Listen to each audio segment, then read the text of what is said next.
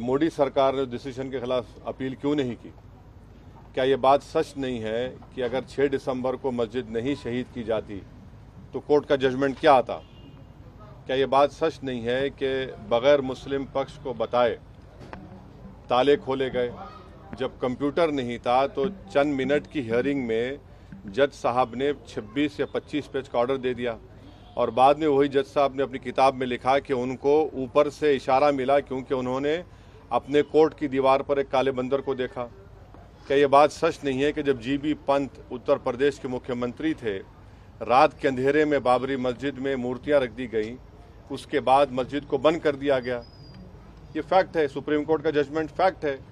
इसीलिए हमने जब सुप्रीम कोर्ट का जजमेंट आया था, हमने कहा था कि सुप्रीम कोर्ट का जजमेंट बिलीफ के ऊपर आया है और हमको इस बात का उस वक्त अप्रीहेंशन था जो अब सच साबित हो रहा है अनफॉर्चुनेटली कि आप देख रहे हैं कि मुख्तलिफ़ मसाजिद के ऊपर केसेस डाले जा रहे हैं। तो ये मैं जो कह रहा हूँ फैक्ट है वो। मैं मानता हूँ सुप्रीम कोर्ट जजमेंट जैसा जस्टिस जे एस वर्मा ने कहा था कि supreme court is supreme but not infallible अब आप मेरे को बताइए, टीले वाली मस्जिद का किस्सा क्या है? 200 साल पुरानी मस्जिद है। और लुटियंस जब बना रहे थे दिल्ली को तो उसको छोड़कर बनाया गया। तो पहले वहाँ पर गाँवों को हासिल किया गया और मस्जिद को कोई हाथ नहीं लगाए आप मस्जिद के ऊपर नोटिस देते हैं। तो ऐसे कई मसाजिद हैं जहाँ पर आ, आ, संघ परिवार से ताल्लुक़ रखने वाले लोग या उनकी आइडियोलॉजी से अपने आप को करीब मानने वाले लोग इस तरह के कोशिशें कर रहे हैं। तो अगर मैं इन कोशिशों को देश के सामने रख रहा हूँ तो मैं समझता हूँ कि मैं तो सच्चाई का काम कर रहा हूँ बता रहा हूँ। और हम नरेंद्र मोदी सरकार से जानना चाहते हैं कि 1991 का प्लेसेस ऑफ़ वर्शिप एक्ट जो है उस पर भारत के प्रधानमंत्री और उनकी सरकार का क्या मौकफ है? क्यों नहीं केंद्र सरकार वज़ीर आज़म प्रधानमंत्री नरेंद्र मोदी ये कह देते हैं कि हम 91 के प्लेस ऑफ़ वर्शिप एक्ट को फॉलो करेंगे, उसको अवॉइड करेंगे। ख़त्म किस्सा ख़त्म कर दीजिए ना। जब आप 91 के एक्ट को मानेंगे तो सब किस्से ख़त्म हो जाएँगे। मैं आज भी कह रहा हूँ कि जिस दिन देश के प्रधानमंत्री ये चाहेंगे कि कोई मस्जिद के ऊपर कोई तमाशा ना हो, सब खत्म हो जाएगा। और तीसरी बात यह है कि बीजेपी से ताल्लुक़ रखने वाले ए, एक कॉन्स्टिट्यूशनल फंक्शनरी है महाराष्ट्र के deputy chief minister Devendra Fadnavis. और वो ये कह रहे हैं कि उनके लिए बड़ा खुशी का दिन था क्योंकि 6 दिसंबर को वहाँ पर थे और बाबरी मस्जिद को शहीद कर दिया गया। अरे भाई आप डिप्टी चीफ मिनिस्टर हैं आप संविधान के ऊपर आइन के ऊपर ओत लिए हैं और आप एक एक जिस दिन डिमोलिशन हुआ था उसको आप कह रहे हैं कि बड़ा अच्छा काम हुआ। वो प्रोवोक नहीं कर रहे हैं। वो इंसाइट नहीं कर रहे हैं। एक डिप्टी सीएम रहकर इस तरह की बकवास कर रहे हैं। और अगर देवेंद्र फडणवीस को इतना हिम्मत अब आ गई है तो कोर्ट में जाकर कहना था कि हाँ मैंने तोड़ा मस्जिद को। कहना था ना? आपने नहीं कहा, डर के नहीं कहा आपने, और किसी को सजा नहीं हुई उसमें। तो डिप्टी सीएम है तो जाके कोर्ट ने बोलना था कि हाँ मैंने तोड़ा था। अब जितने लोग जो बोल रहे हैं, शिवसेना के लोग बोल रहे हैं, बोलिए जाकर कोर्ट को क्यों नहीं कहा? आपने अखबार जुर्म कर लेते वहाँ पर। भाई, अगर आप डरते क्यों हैं जेल से? और ये प्राइम मिनिस्टर की सरकार ने उस क्रिमिनल जजमेंट के खिलाफ अपील नहीं की। और दूसरा, एक नाथ शिंदे, जिसको बीजेपी सपोर्ट कर रही है, कह रहे हैं कि जो दरगाह है बरसों से, माने 200 साल 300 साल से दरगाह है रहे, उसको हम चेंज कर देंगे। अरे भाई, आप मुख्यमंत्री हैं महाराष्ट्र के। आपकी नज़र में सब बराबर होना चाहिए, चाहे किसी का मज़हब हिंदू हो या मुसलमान हो, ईसाई हो दलित हो, या फिर आपके बौद्ध मज़हब के हो या सिख हो। और आप एक समुदाय की और वो भी मुख्यमंत्री रहते हुए एक डिप्टी सीएम रहते हुए इस तरह की बकवास कर रहे हैं। तो ये मुख्यमंत्री डिप्टी चीफ मिनिस्टर और जो मोदी कैबिनेट के मंत्री हैं इन लोगों के हौसले इसलिए बढ़ चुके हैं क्योंकि जो जजमेंट आया है बाबरी मस्जिद के क्रिमिनल ट्रायल का और टाइटल डिस्प्यूट का जो मसला तो उसके बाद ये लोग ये लोग इनके हौसले बहुत बढ़ चुके हैं। इसलिए इस, तरह की बातें कर रहे हैं अनारकी फैलाने की इंसाइट करने की प्रोवोक करने की। एक डिप्टी सीएम है एक मुख्यमंत्री और एक यूनियन मिनिस्टर है। तो ये सब ज़िम्मेदारी देश के वज़ीर आज़म नरेंद्र मोदी पर आती है कि वो देश को बताएँ क्या उनकी सरकार की क्या पॉलिसी है। बताएँ हम हमको। सर कांग्रेस एमपी अब्दुल खलीक ने उठा सकते सर। मैं मैं जब तक ज़िंदा रहूँगा छह दिसंबर याद दिलाता रहूँगा। नहीं नहीं मैं मैं मैं नहीं सुनिए मैं, मैं सुप्रीम कोर्ट का जजमेंट जजमेंट फाइनल है। तो क्या मैं 6 दिसंबर की याद नहीं दिलाऊं? 6 दिसंबर अगर नहीं होता तो जजमेंट क्या आता? गलती क्या है बोलने में? गोली मारेंगे क्या? गोली तो चला चुके हैं गाड़ी पे अभी और चलाइए और क्या करना है? मगर मेरा फ्रीडम ऑफ़ एक्सप्रेशन है मैं एक सवाल तो उठा रहा हूँ। अगर आप बोलेंगे नहीं नहीं उठा सकते तो कि भाई ये क्या इसराइल है? या फिर आपको ये नॉर्थ कोरिया है?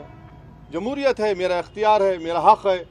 मैं ये सवाल उठा रहा हूँ मैं चाहता हूँ कि हुकूमत जवाब दे इन सवाल का। सर कांग्रेस एमपी अब्दुल खलील खलीक ने योगी सरकार से सवाल किया है सर कि जो अयोध्या में धन्नीपुर मस्जिद का भी से खुद पूछ लीजिए मैं उस पार्टी का ना उनका कोई तर्जुमान हूँ।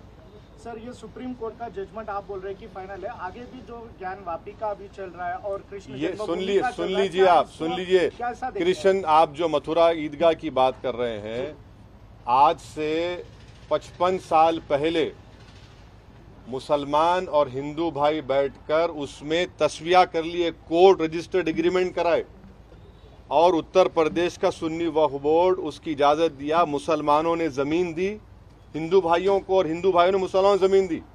करीब आठ एकड़ ज़मीन मुसलमानों ने दी।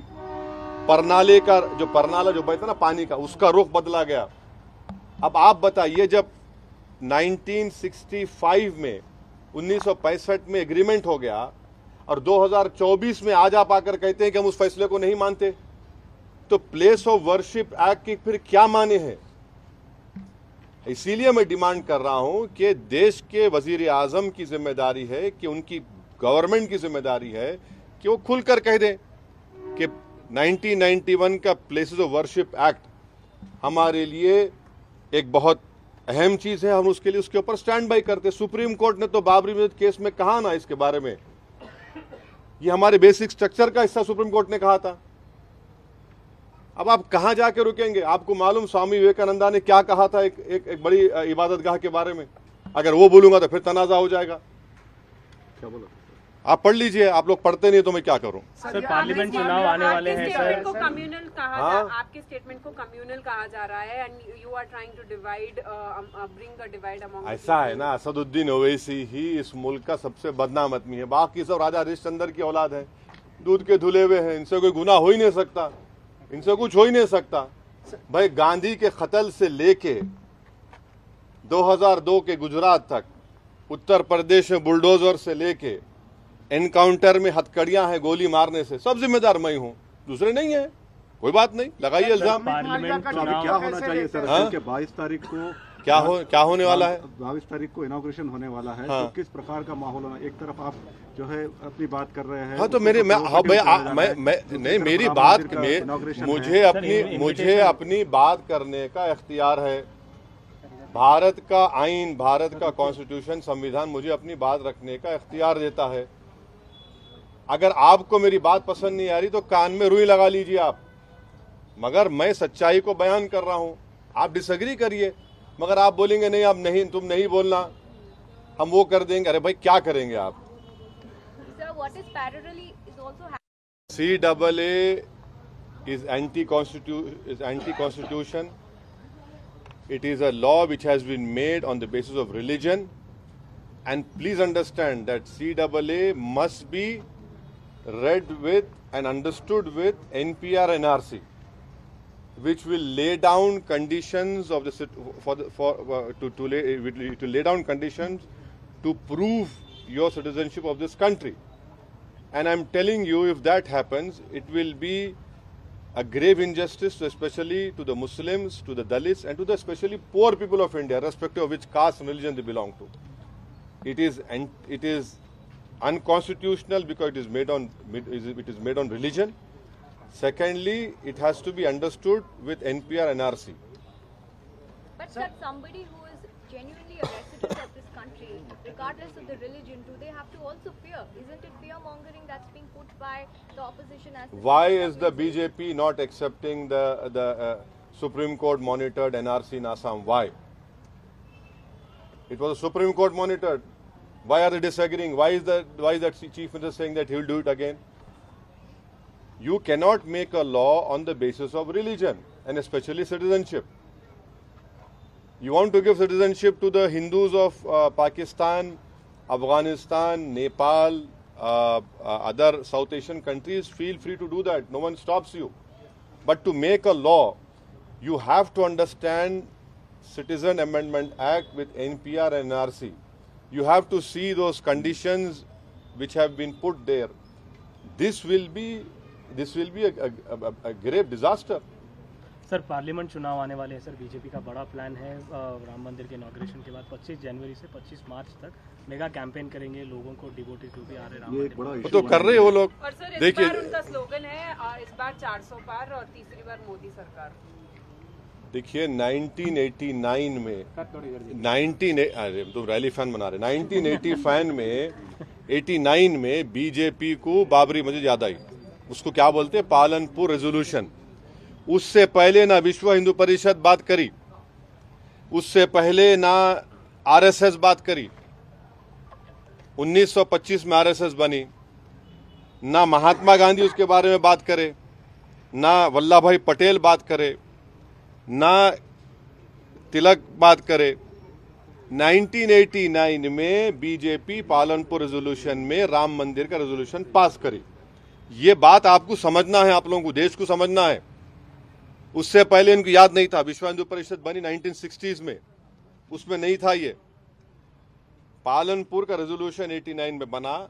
अब ज़ाहिर है, बीजेपी तो इसी पे पॉलिटिक्स कर रही है ना। आप नौजवान बेरोजगार है। दो करोड़ नौकरियाँ देते बोले, आजा आप प्राइम मिनिस्टर बोल रहे कि हम फरवरी तक तेरह लाख देंगे।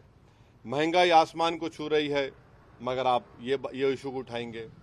लोग बोल रहे हमारे को खाने खाना नहीं है तो आप कुछ और देना चाह रहे ये उनका असल है, एजेंडा ये है 2000 स्क्वायर किलोमीटर पर चीन घुस के बैठा हुआ है। पैंसठ में से 25 पेट्रोलिंग पॉइंट हम खो चुके हैं, उसमें देशभक्ति याद नहीं आती। हाँ आप ये बात कर रहे हैं तो ये देश देख रहा है। सर नए amended law hit and run को लेकर काफ़ी विवाद चल रहा है सर। हिट एंड रन का जो लॉ है मैं पार्लियामेंट में खड़े होकर इसकी मुखालिफत करा था मैं स्पीच भी डाला उसकी। क्रिमिनल जूरिस्प्रूडेंस में आप दो साल से दस साल कर देंगे। ये क्या है भाई ये? क्या बनाना चाह रहे इस मुल्क को आप? ठीक है वो गलत है क्राइम है मगर दस साल कैसा करेंगे आप? और, और उसमें आप बेल नहीं होंगी। मैं उस वक्त वार्न करा था लोकसभा में मेरी स्पीच में। मगर 306 आपके, आप लोग आज हवा में उड़ रहे हैं, ज़मीन पे पैर ही नहीं है आपके। अब जब पूरे ट्रक ड्राइवर्स निकल गए और पूरा शहर जाम हो गए, शहरा जाम हो गए, रोड पे पेट्रोल नहीं, डीजल नहीं तो जब इनको ख्याल आया। क्यों प्राइम मिनिस्टर मोदी और अमित शाह आवाम रोड पे निकले डरते हैं लोग? अबे, पार्लियामेंट हम बोले, आपको वार्न करे, मत करो ये काम आप, मगर आप नहीं सुने। मैं फिर से कह रहा हूँ, ये जो नया तीनों फौजदारी के कानून लाए ये रोलेट एक्ट की याद दिलाता है। मैं फिर से कह रहा हूँ अगर आज महात्मा गांधी और भगत सिंह रहते तो बोलते ये तो रोलेट एक्ट है ये। इससे बहुत नुकसान होने जाएँगे बहुत से परेशानी होने जाएँगे। अब देखना इसका गलत इस्तेमाल होगा बहुत। सर आखिरी सवाल सर सर। नहीं मालूम मैडम क्या होगा? कोर्ट का जजमेंट क्या आएगा? मैं कैसा प्री जज कर सकता हूँ ना आप आप कर नहीं मैं नहीं कर सकता देखने दो 2024 में अगर तीन मुद्दे पब्लिक के सामने है आपके हिसाब से तो क्या रहेंगे और ये इलेक्शन कहाँ जा रहा है 2024 लोकसभा? 2024 में सबसे बड़ा मुद्दा है इस देश की जो 50 फ़ीसद आबादी, जो नौजवान है, बेरोजगार है, वो सबसे बड़ा मुद्दा है। दूसरा मुद्दा है महँगाई का। तीसरा मुद्दा है चीन का। जिस तरीके से चीन हमको परेशान कर रहा है और ये गवर्नमेंट जो है खामोश बैठी हुई है। ऐसे कई एक तीन मुद्दे तो आप बोल रहे हैं मगर बहुत से अवामी तकलीफ़ के मुद्दे हैं जो लोगों को परेशान कर रहे हैं। और क्या इंडिया ब्लॉक प्रधानमंत्री मोदी को नहीं नहीं मैं, मैं मेरा उससे ताल्लुक नहीं है भाई। आप उनका जो इससे ताल्लुक है उनसे पूछिए आप वो आपको मुझसे बेहतर जवाब दे सकेंगे। सर दिग्विजय सिंह ने बताया नहीं नहीं वो सब वो मेरा ताल्लुक दो- 2024 से पहले हिंदू मुस्लिम मस्जिद और मंदिर की राजनीति चल रही है। कि क्या ये इसको लेके वोटर्स पोलराइज नहीं होंगे? किस तरह से आप इस चीज़ आप आप समझ रहे ये नहीं नहीं चल रही थी पहले ये। मगर अभी ज़्यादा हो रहा है हाँ नहीं नहीं नहीं नहीं ये नहीं ये तो नहीं नहीं ये तो चल ही रहा है ना। कब खत्म हुआ ये बोलो आप? अगर ये नहीं चलता तो जेलों में सबसे ज़्यादा मुसलमान क्यों होते? चौदह फ़ीसद मुसलमानों की आबादी बीस फ़ीसद जेल में है और सोलह फ़ीसद कन्विक्शन होता है।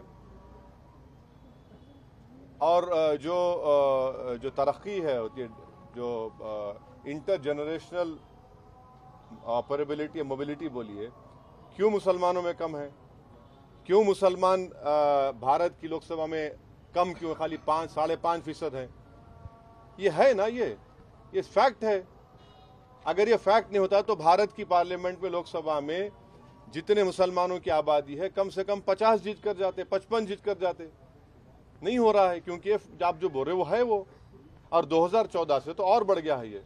बीजेपी के पास एक मुस्लिम एमपी नहीं है।